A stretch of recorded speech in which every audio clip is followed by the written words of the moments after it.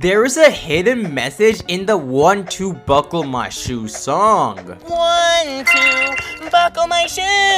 Although subscribe and like if you love your family. Anyways, as you can see from this video, if you take a closer look into the forest, you can actually see a weird person in the middle of the forest. And if you look even closer, that person is actually Slender Man. So there's a lot of theories about this. And people think that Slender Man actually kidnapped this kid and is forcing him to make this song to go viral. Because I think Slenderman is trying to take over the entire world. Stay safe out there, guys. Anyways,